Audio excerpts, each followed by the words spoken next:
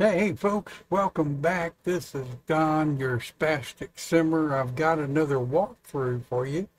Last week we did another project. It was called the Contemporary Style House. Now it's kind of a small thing, but it's really a cool little place. If you count the basement, there's three stories. So let's don't waste any more of your time. Let's just get right on with it. I see, get down here at walkthrough and we're going to go ahead and hit play. And what we're going to do is, of course, I am in, I'm doing this walkthrough in live mode. That way we can kind of see everything moving around. You'll see, um, you'll see the people walking through, the cars going by. They've got cars that go by, but why there's no cars in it uh, that we can use, I don't know. but this was built always as close as I possibly could from the um, from the um, web page and the the floor plans and what have you. Now, we all know that there's no way you're going to get sims and square footage and the square sim sizes to come anywhere close. Now, if we could use half squares in Sims 4 walls and building, instead of three foot square, then if we could drop it down where we could use each one of the little four squares inside that three foot square to be able to build, then we'd have it made because if one of the big squares is rough, roughly three foot by three foot, then each one of those little squares would be what a uh, foot and a half by foot and a half. Yeah. So that would be, I mean, that would be supreme if we had that capability. So of course, we're, you know, we just did a walkthrough on the first floor, took a look at, um, you know, took a look at things like the um, washroom, or, yeah, the washroom, hell, I'm losing my mind. And now we're fixing to go down to the second floor, or, no, I'm sorry, down to uh, the basement. And right here, we have a workroom, a little workshop that where we can come in here, we can work on crafts, we can build things. And we're going to scroll around over to the left here where there's linens and a full, fully set up, full setup washroom.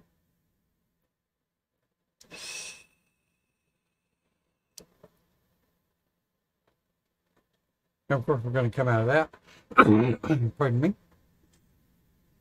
And we're going to go to the left, and you'll notice this is an open door plan, okay?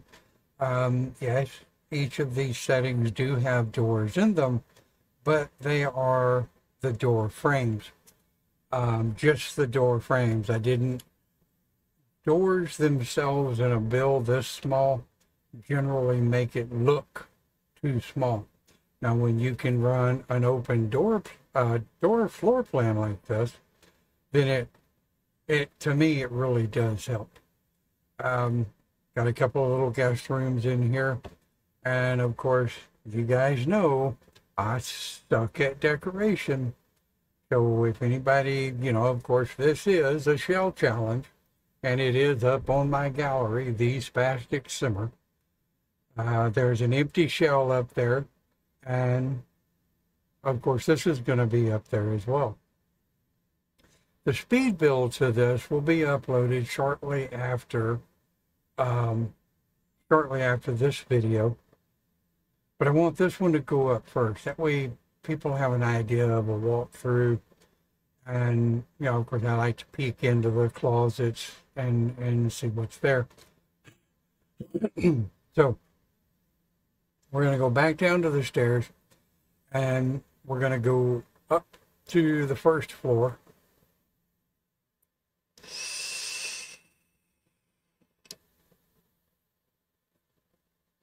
And yes, I am still learning this free cam, but I absolutely want to thank TwistedMexi for uh, building FreeCam, uh, building Better BuildBuy tool, and all the rest of the stuff that builders like myself use use every build we use on a, a daily basis two or three times a day.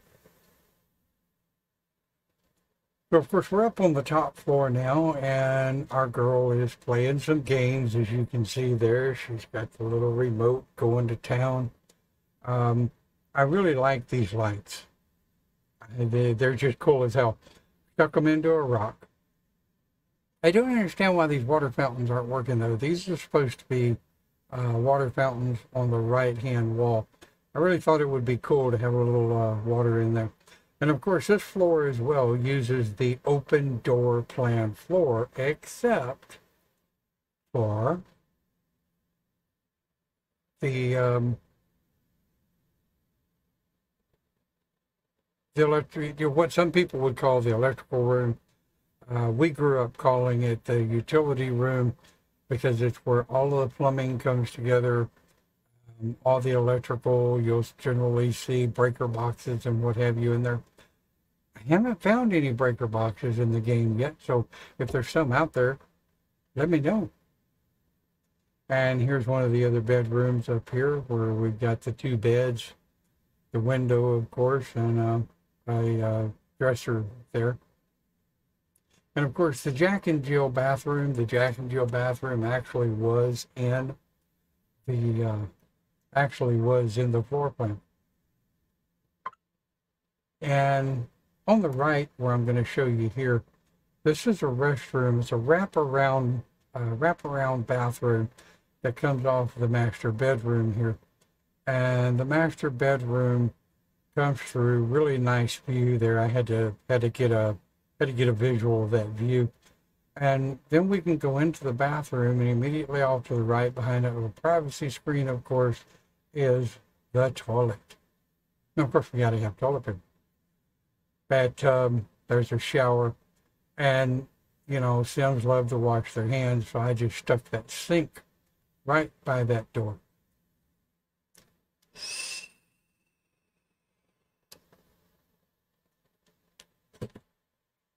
And the kitchen on the first floor that you saw when we came through, um, you may see a blip of it here in a minute on the walkthrough. There you go. It's not a real special kitchen, but I sure did like the way that window came out. You may want to pause or pay very close attention to it on the speed bill, and I think you will. Uh, I think you'll really find it cool. And of course, I'm going to back out here and I'm going to go through the garage because I like the way the garage come out. It's really kind of cool. Um, one of the things that I'm getting into is anytime I do a build like this that has an external garage, I'm putting bicycles in there as a secondary, a secondary choice of mode, uh, mode of transportation. So when you go through the garage doors here, you're going to see the car and the truck, and then on the left and on the right, there are bicycles. Now you'll notice the inside of this garage is not finished out. That was done on purpose because here in north central Texas or Texas period, I've never yet to see the inside of a garage that is finished out. I know some of the garages up north really look nice. They're finished out. Um, some of the garages that I've seen in Scotland while I was up there, uh, the, you know they really look nice, really finished out. Had to have a gazebo.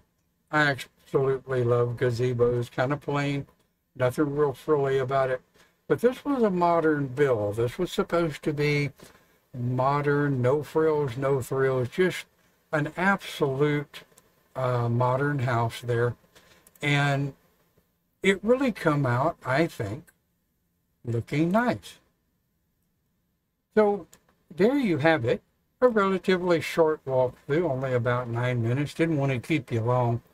The upcoming speed bill will probably be yeah, around 20 minutes there. So uh, once I get it edited, edited, once I get it edited and moved up to the uh, moved up to YouTube there. This particular video will probably be uploaded now that I can to Twitch, you know. And once again, last week we made affiliate. Now, uh, my hat's off, and thank you very. Well, my little bald head there. That's the reason I wear a hat. Don't want to blind you folks. But I want to give a very special thanks to the people that really put us out there. You know, people like uh, Emily Blue Jay, uh, people like um, uh, Jack Preston, Prissy, uh, Prissy, Prissy, Prissy, Prissy. Oh God, I'm horrible with names. She's gonna smack me. But I really want to thank those guys that really put us out there, Tonka Man and all the rest of you. Hell, my memory sucks so bad, I can't remember. But, hey, you guys have a great day, and that's my phone caller. We'll catch you on the flip side.